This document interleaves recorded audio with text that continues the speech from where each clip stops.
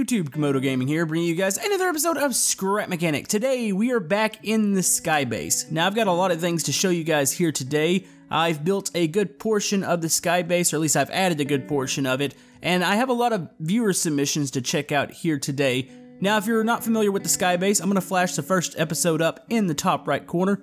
Go check that out, and then come back here and check out the new additions to the Sky Base that we've added here today. Okay, so we are at the base of the sky base. Uh, that kind of rhymes. I think I'm going to say that every time I do an episode because I'm going to start down here. Uh, we're going to head up in the elevator. Now, I still am taking viewer submissions for the sky base. As you know, this is a community project. So if you want to send anything, I will flash my email up on screen, or you can join the Discord and send it over in the Viewer Creations channel.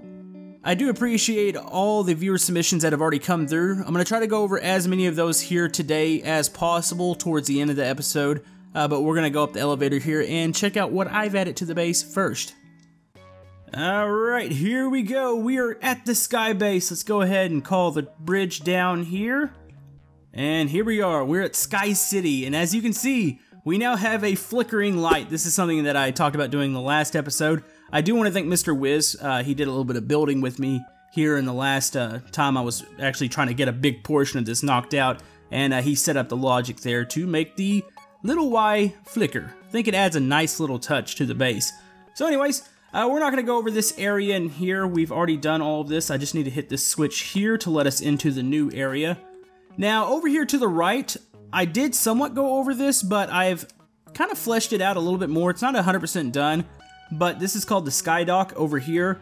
And this is going to be where we're going to have some of the smaller ships uh, be able to dock to the station and go into the Welcome Center first.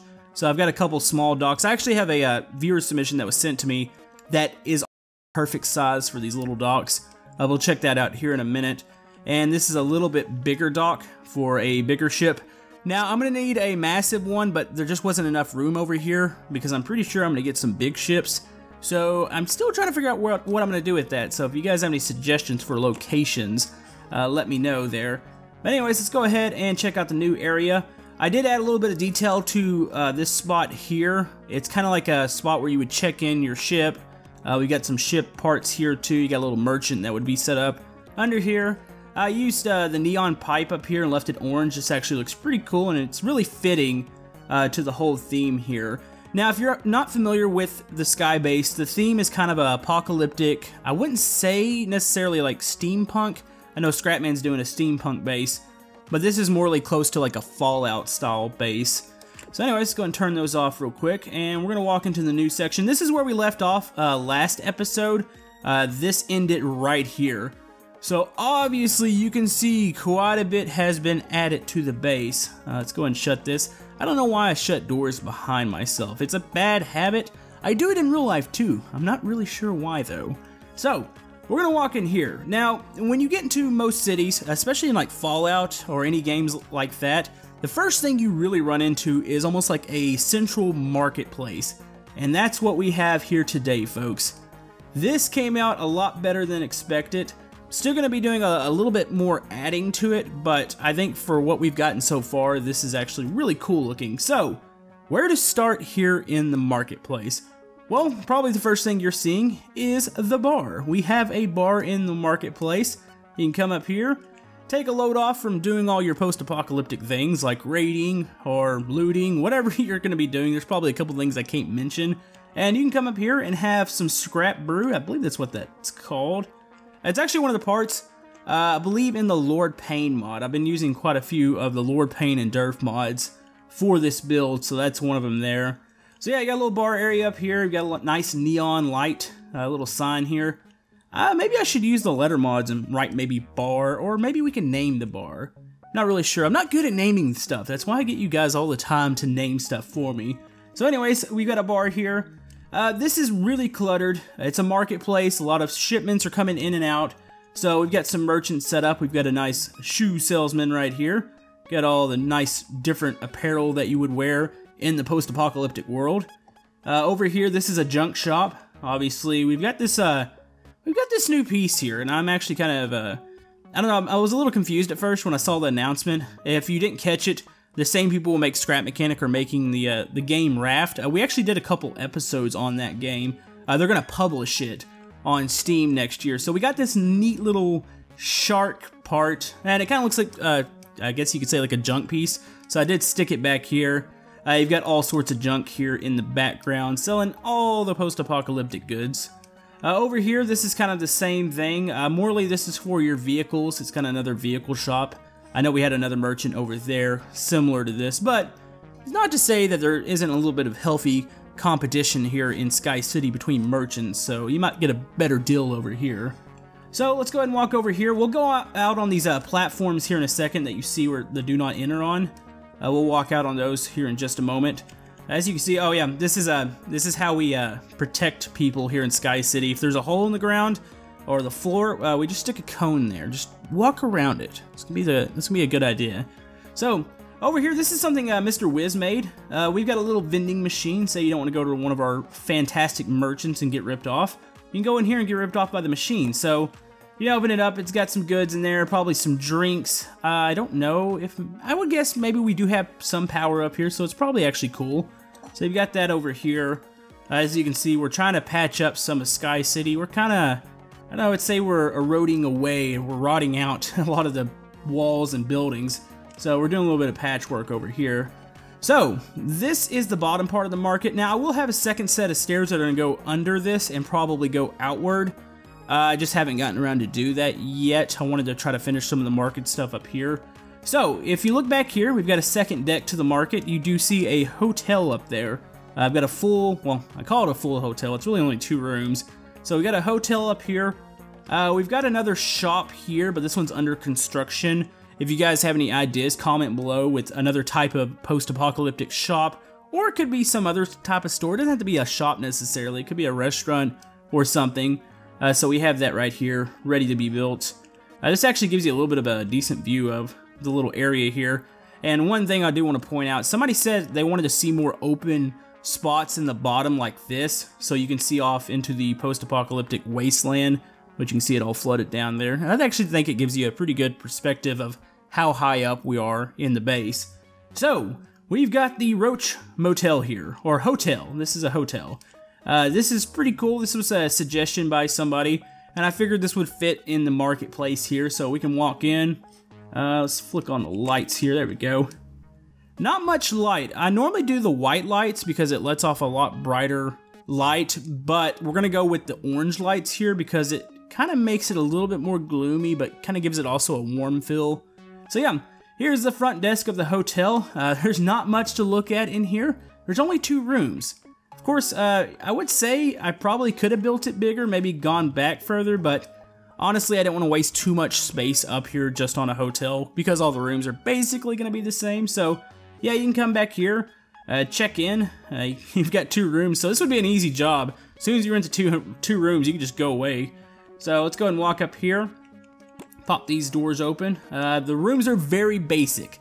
It's the post-apocalyptic wasteland. About the only thing you need is a bed and maybe a little drawer or something to uh, put some of your gear in. Of course, uh, some of these might have some sort of computer terminals. I don't know how advanced I want to go with this base. I don't know if we're going to do a bunch of computer stuff. I mean, it is already pretty advanced in the first place, considering it is a sky base and we are making it hover, but I'm still debating on that. So let's go and check this room out over here. This is a pretty cool little room. This one's actually got a nice window. It's kind of barred up, but you can somewhat see the marketplace from here. So, we got that. Uh, each room does have a, a nice light. I know that's kind of an odd feature. If you were to look at the maybe the manual for the hotel, it's like, hey, this room's got lights. So yeah, we got that. Let's off a nice glow in here. Let's go and turn that off there. There we go. And we're going to turn this light off here. Now, I'm not going to put doors on every business here. For anybody that's played Scrap Mechanic knows that a lot of bearings in a build will lag it or make it start to lag a lot quicker. So uh, the reason you see some of these stores or shops open like this is because it's just going to be a, an unnecessary door to me. So uh, I'm going to kind of lay off that a bit. Alright, so that's a pretty good little rundown of the marketplace, or at least what I have built so far. Like I said, if you guys have suggestions, let me know. Uh, over here, this is going to be one of the exits to the marketplace, and you can see I've already done something over here. Uh, this is a viewer creation or viewer submission. We'll go over this here in a second. I just needed somewhere to mount this. So this area right here is not final. So let's go ahead and go down to the sides here. Now these sides are these little doors that you see that are open are completely identical on each side. This is something that you, the viewers, actually wanted to see. I talked about it a little bit in the last episode about having some sort of thruster clusters uh, to support the sky base. Of course, the sky base is not actually hovering, like many of you guys know, but I wanted to give it the look that it was actually hovering off the ground. But I have a very cool or very awesome friend of mine named Non Newtonian. You might have heard the name before if you're on the Discord. You see him around. And he went above and beyond when it came to making this base look like it's hovering.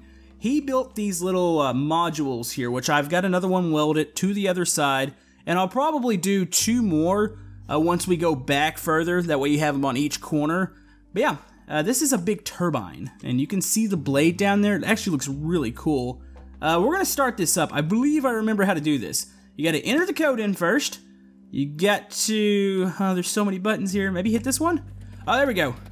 And I believe this might be a shut-off here. So we would start all the turbines. You have, to, you have to actually start all four of them here. That would be kind of neat if you're role-playing, if you had somebody up here kind of working infrastructure for the base. It is a bit dangerous, though, the whole fact that there's no railings up here, but who said the sky base was actually going to be safe? So we're going to fire these up. I'm kind of curious, if I get all of these going and leave them on, is it going to lag? I don't think it's going to, but it would be nice to be able to leave these on, like, always. That way it does give the effect that the sky base is hovering in the air. So I bet you that actually looks pretty cool from the ground. Uh, we'll keep this little module activated, and we might go activate the other one. Uh, but I do want to definitely thank Mr. Non-Newtonian for sending this over. This is absolutely awesome. It's a really just fitting addition to the base. Okay, Mr. Non-Newtonian didn't stop there. He's a madman. He built one more thing, and you caught a glimpse of it earlier. Uh, we've got something over here that I know I'm going to implement at some point. I'm not sure where, I need some dedicated defense systems for the base. Uh, we've got the guns that are on the main gate in front of the drawbridge, which is really good to fend off people that manage to get up to that level. But we haven't really thought about ground attacks. Now, we also have to deal with air attacks, but we'll deal with that a little bit later. But ground attacks, as far as if there's raiders coming towards the base and they're going to try to get up, uh, we've got a turret here. And this is actually really cool. And this is meant to be welded like this probably would be surrounded by some sort of shell around it. I've kind of got it temporarily mm, welded here. But what you do, we're gonna hop into here. It's a little tricky to get into. I didn't. It didn't help where I welded it, but let's do that. Let's close the door. Now this would be up like this, but if you're if you're getting attacked from below, which this could also possibly be an air turret too. I'm not 100% sure, but say you're getting attack from below, you hit the 2 key here. And sometimes this is a little tricky, it takes a second. But this thing will actually go down with the piston. Just give it a moment here. There we go. Alright, as you can see, the turret is down. It's actually, it rotates fully. And if you hit the W and S key, uh, I believe it's the WS, there we go. You see the guns fold out. And this is really cool. And if you hit the 1 key here, uh, you get a little bit of firing action. So yeah, you can be, oh, this is a, camera's a little weird. Let's see, what happens when we're in here? Okay, you really can't see out of this from here. I need to probably build a platform that we can actually swivel the camera around a bit because you can see it zoom in to the actual turret every once in a while. But yeah, you can fire it from up here. Uh, you can swing it fully around. I wish it would quit doing. Actually, let's do it from down here. This actually works.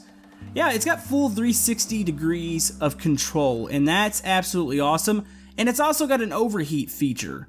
If you saw, or you can see the red glow there, I was firing for too long and it, it's overheating and it's gonna need to reset itself. So we can go here and you can see it lighting up and you see the red filling up.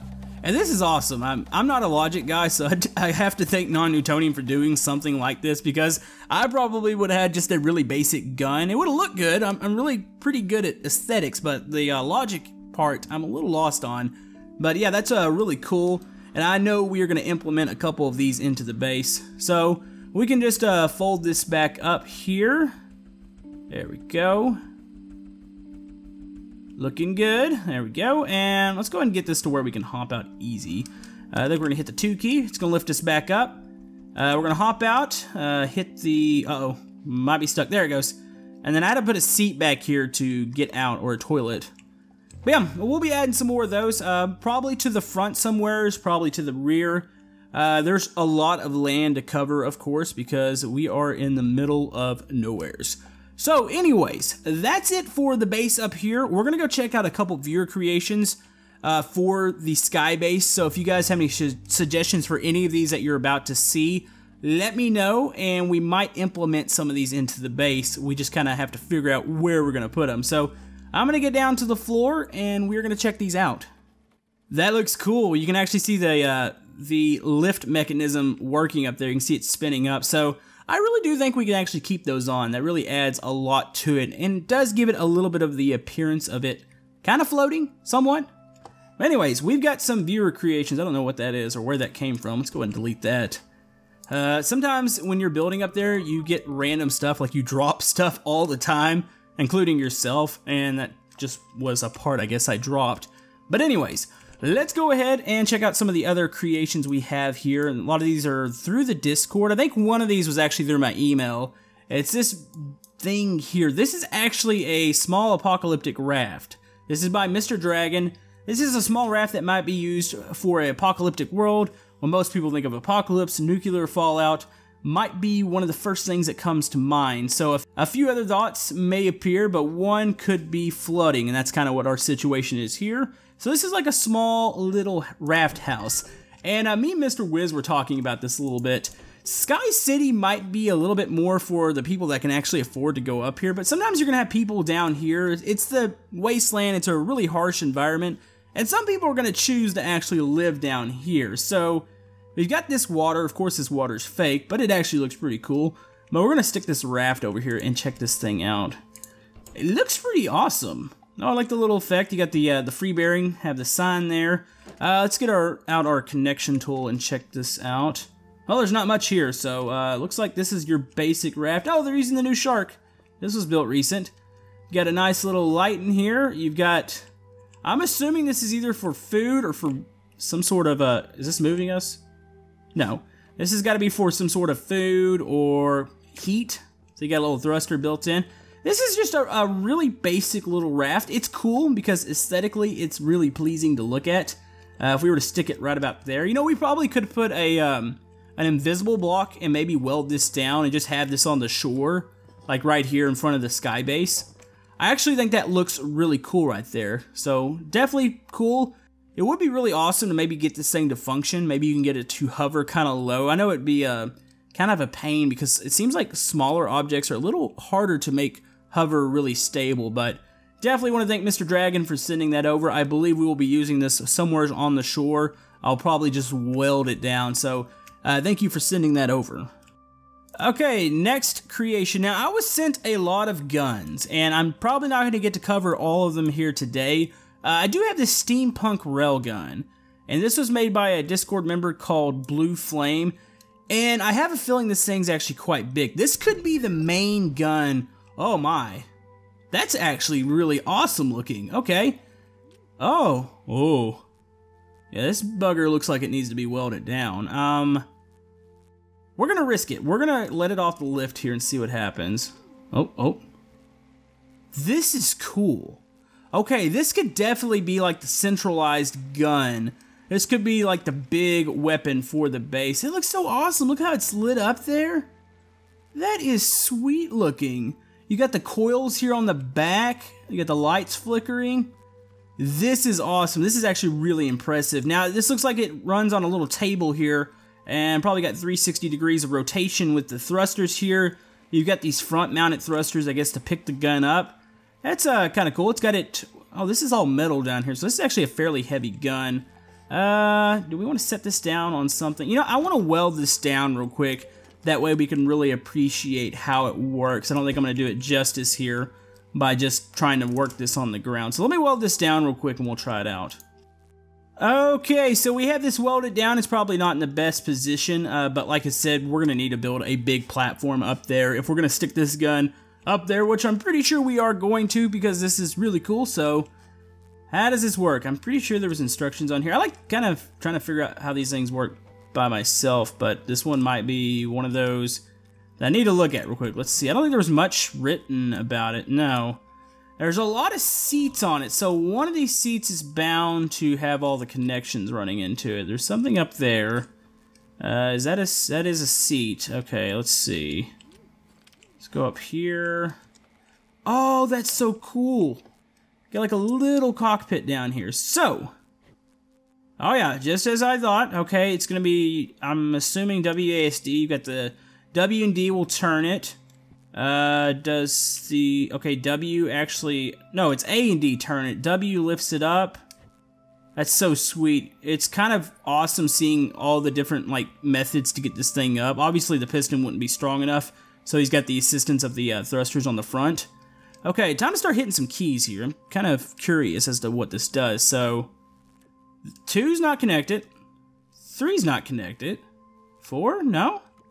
Five? These buttons don't seem to be connected. This might... I think he said this is just something that is visual. It's like not a actual firing gun. We could probably modify this just a bit to at least make it blip or something. Maybe some thrusters out the front to make it look like it's firing. So it looks like it's purely a cosmetic build, but this is still going to get used in the base because this looks too fantastic not to use. Now let me uh, double check that one more time. Yeah, he's got the switches. Yeah, obviously you can see these aren't actually hooked up. So most of this is down, done down here. And actually look at the logic cluster down here. That's impressive. I noticed this thing actually keeps itself propped up, so we aimed up. Is it slowly falling down? No, it isn't actually. Yeah, this will work perfect. We can angle this up there. We're just to need a big 360 degree platform we can use this with. But yeah, I definitely want to thank Mr. Blue Flame for sending that over. We will be using this in the base very, very soon. Alright, I've got two more things we're going to check out here today. Now, if you didn't get your creation shown here today, it does not mean that I'm not going to show it. I've got to get around uh, I'm running a little bit out of time here to go through all of these. So we got two more we're going to check out. We've got the Skybase Monster by Mr. Quadizimo, if you've heard of him before. He's sent some stuff over. He's really active in, I think, all of the uh, the discords that I'm a part of, like Scrapman's, Cons, uh, Moonbows. So, let's spawn this. I don't know what this quite is. It's a sea monster. What does a sea monster do? It's got a lot of loose bearings on it. It kind of looks like a mechanical monster. Ooh. Ooh. It's just kind of creepy looking. Okay, let's let's hit the switch. Oh. I don't like when I say I don't like it, I just don't like the way it looks. It's just kind of creepy. I mean, it is a sea monster. It's like a mechanical monster. It's like something horrible went wrong. Maybe this is the cause of the apocalypse. Something like this. That's actually cool. It's got a little walker on it. It's I like all the loose uh, bearings that he's got on there. So you've got all these little tentacles and stuff kind of flopping around, and whatever that is on the top, maybe it's one of those little uh, lures. I forget what the, the fish's name is. You see them a lot of times in the really deep waters. Uh, they use a little light on top of their head to attract prey, and that's kind of what this reminds me of. Uh, that's actually cool. I like the way it walks. It kind of has a creepy walk. It's got a really extended walk, almost a bit like a praying mantis. Uh, that's kind of what this reminds me of. That's cool. I like that. That could be something that would be kind of neat if you could leave it down here and it would actually just walk around the whole time. You can kind of find it at a later point. Uh, that might actually look pretty cool underwater. Let's go ahead and let's go to the water real quick and we're gonna shove it under there. There it goes. that looks pretty cool. It looks like it's just kind of lurking around the water. So yeah, uh, maybe we'll have some beasts like this. Maybe they don't have to all be like actual living beast. It could be some sort of mechanical type takeover, kind of like the farm bot apocalypse that I always talk about. That seems to confuse some people when I say a lot of people are like, well, what are farm bots? Uh, that's just something that is the enemy that's going to be in Scrap Mechanics survival mode, which I hope comes out very soon. Uh, I want to build like a base like this for survival mode. I feel like that would be really cool. So, anyways, I want to thank Mr. Quadizimo for sending that over, and we're going to check out one more creation here. Alright, we are to our last creation here. Now, like I said, we will be checking out some more of these very soon in the next episode, so keep sending them in through the Discord and my email. Now, this, I know what it is. And anybody that's a Scrap Mechanic fan, uh, if you've seen Brent Batch's flyers, you've seen them in his videos, a lot of people use them in their videos to get around. Uh, basically, the Brent Batch flyer is this top part here. Now, normally I don't typically look at something that looks like it's been somewhat modified. I'm almost 100% sure that's the base of it right there. But this has kind of like an apocalyptic steampunk feel to it. You've got these little uh, rails here on the bottom. Let's pop this out. Uh, it's got the shocks and it's got the little propellers. Now I was talking earlier uh, where the Skydock is, like this is almost the perfect fit for it. Uh, these are really just useful flyers. They fly very, very easy. Uh, it's some sort of glitch stabilizer. I do not want to fly up in the blades. Oh, this actually gives you a pretty cool view of the sky base. Oh, that's, oh, hold on. Hold on. There we go. Yeah, that is awesome looking. All right, so let's see if we can maneuver this. This thing might be a bit too fast to get up and down. I do like how he's modified it to where when you hit the W key, the little propellers kind of activate. And, oh, nailed it. I mean, that wasn't that close. Does this thing still skid? Uh, one thing that you lose with these uh, these railings here at the bottom is the ability. This thing used to be able to skid along the ground. It seems like those, it still can somewhat do it, but it seems like those rails are kind of hindering its ability. So this is just one of the types of vehicles that I look forward to seeing. I am going to create a couple stuff or a couple things like this, but this is like a little small personal vehicle. Uh, we will be adding some bigger vehicles to the sky base at some point. But I do want to thank Mr. Luke Babs for sending that over. Uh, like I said, also credit goes out to uh, the OG of this, or at least this design, uh, Mr. Brent Batch, for creating this. This is still one of my favorite flyers to uh, traverse the map in. So, anyways, that's going to about wrap it up for today's episode. We will be doing some more Skybase here very soon. It just takes me a while to get these episodes out. Uh, I know some people are like, hey, uh, you know, when are you going to do the next Skybase? Or uh, why aren't you doing enough or more scrap mechanic? And I know a lot of people sometimes uh, see that I do quite a bit more brick rigs now. Uh, brick rigs is just an easy thing to record so I can constantly have content for you guys. Uh, that way, in between, I can do work on stuff like this. So I do feel like we've got quite a bit done here today. We will have another edition for the Skybase here very soon, so if you have any suggestions, comment below. I want to see some new sections, some new ideas. Uh, like I said, the Discord is open for anybody that wants to join in. And uh, if you want to talk to me a little bit over there and do some suggestions, a lot of times I can answer faster over there than I do in the YouTube comments section. But anyways, folks, thank you guys for all the support on the Skybase series. Thank you guys for the support on the channel, Scrap Mechanic, everything. You guys are absolutely awesome. So I look forward to doing some more of this very soon. But anyways, folks, hope you enjoyed the episode, and we will see you guys next time on Scrap Mechanic. Thank you.